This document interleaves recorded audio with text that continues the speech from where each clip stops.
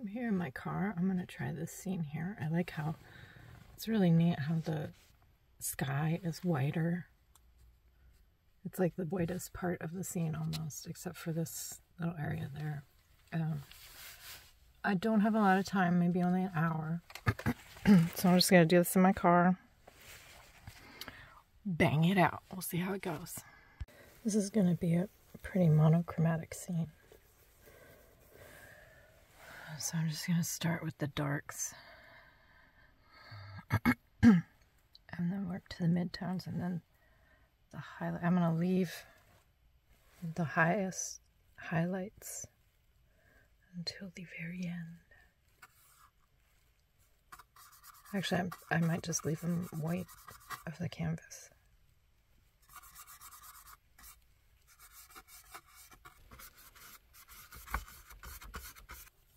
As you can see, my brushes are dirty, my palette is dirty, but everything is still wet because I keep this kit in the car and in the winter it's the equivalent of putting everything in the freezer. So it just stays wet. Which is quite convenient.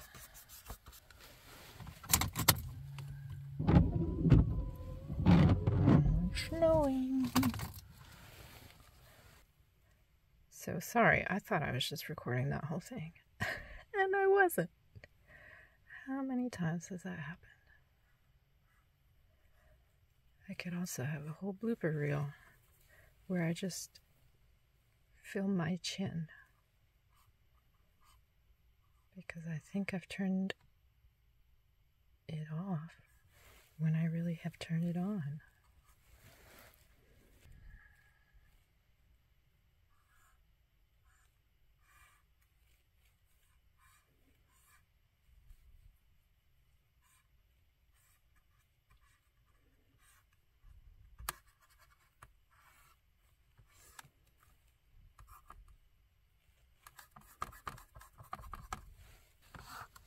I think what I was saying when I thought I was filming and I wasn't was that I have to ration my white because that's all I have. I don't have it, my white tubes. So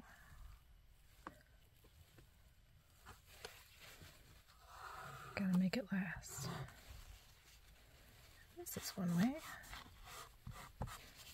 of doing that. I want to get this like tunnel effect.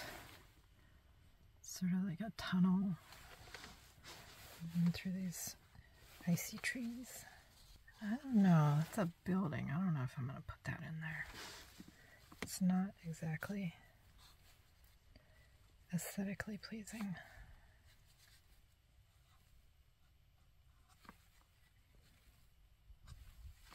Wiping this out will make it easier to put the white on so I don't have to do as many layers.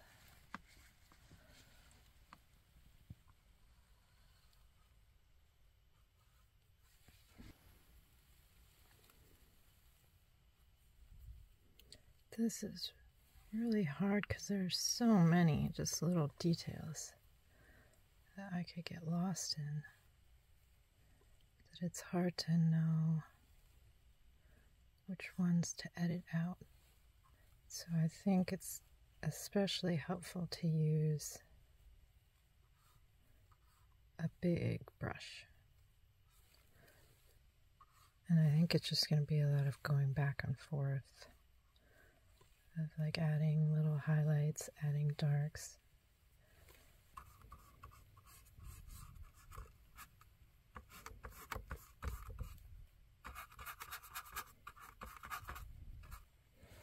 I want a lot of the focus to be right here.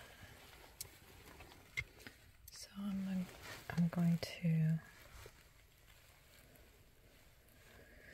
try to have these edges here more defined, crisp and defined, especially where this edge, the edge of this copse of trees meets the the emptiness back there.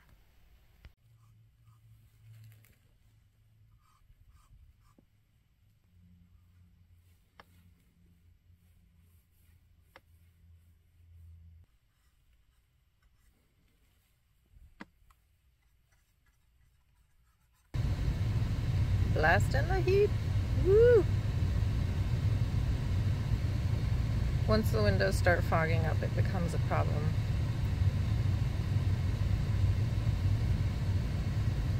And I'm just like blurring my eyes as much as I can so that it's all just a beautiful haze. And then just sort of trying not to think too hard and woo! Go for it. Go for it.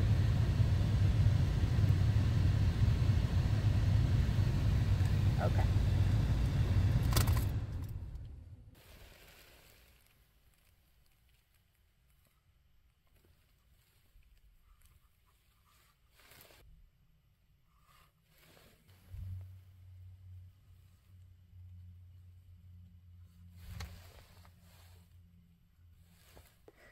I'm just going to take some pure white here. We're going to go in for these sky holes.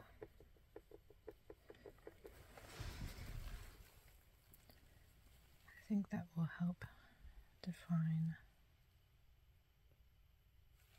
some of what is going on here.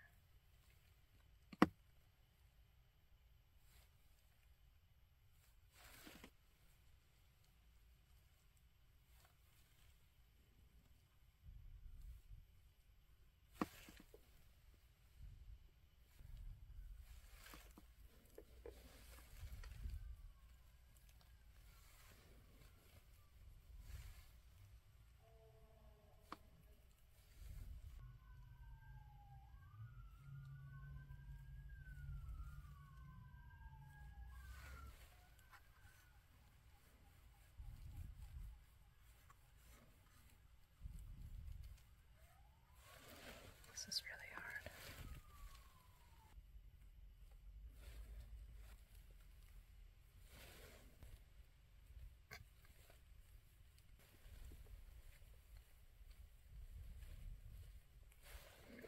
What I like about this brush is that the marks are just so erratic a lot of times, just in the way it holds paint or does not. Um, and so then it's just like, what is. It makes a lot of interesting marks that I don't think I could make consciously. Um, and it's pretty stiff too, so when it when I turn little corners with it, it sort of spring it's it's springy and that also makes weird little marks that I would not have made consciously. Hmm. I I have to do something here to stop this edge right here. Put that in. I'm not gonna this is not the focus over here. You just ignore that. nothing to see over here. Nothing to see here.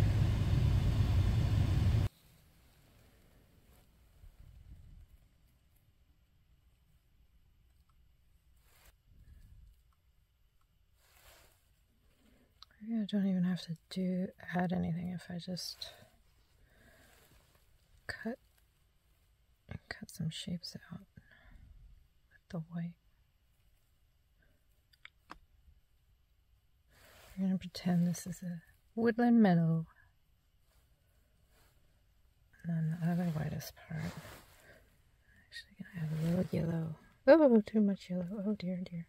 A little teeny bit. Okay, there we go the other lightest part is over here.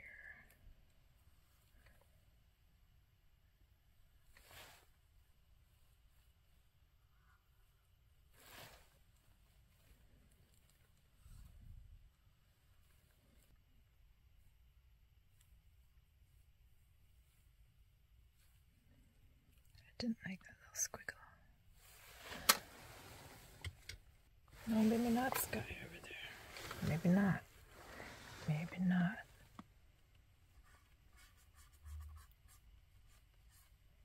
Sky for you. While you weren't looking, Jennifer went in there and ruined this area. She's sneaky like that. So now I have to fix it. Thanks a lot, Jennifer. There's so much subtlety of color in these grays.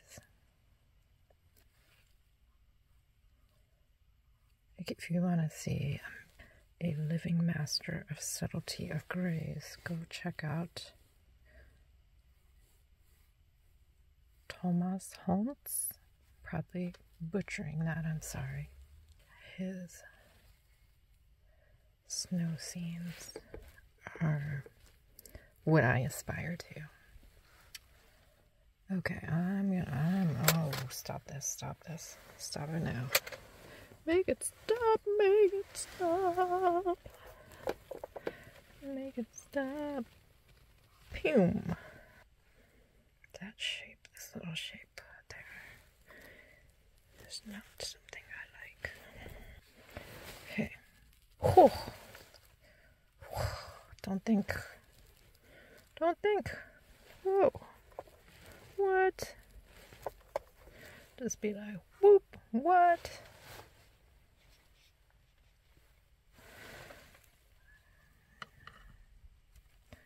Uh, get in there and just ruin it and mess it up, mess it, mess it. Okay. This line here, I have to resolve this line.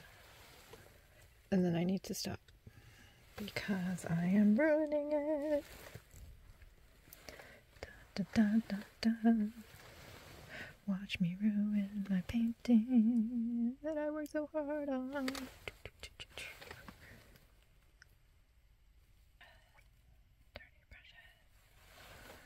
Oh no. oh no. She's ruining it. She's ruining it. Do, do. She's doing what she said she wouldn't do.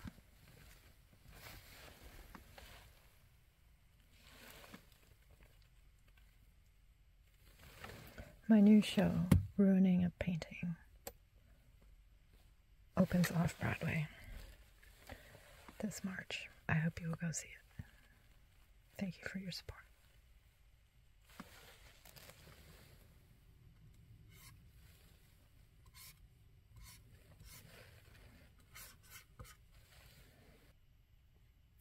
Okay, well, I don't love that area over there, but I do. I have to stop. What time is it? I have to stop. It's time to stop. But, but, but, no. No what's. You have to stop now. You did your best, and that is good enough. Thank you for watching. 拜拜。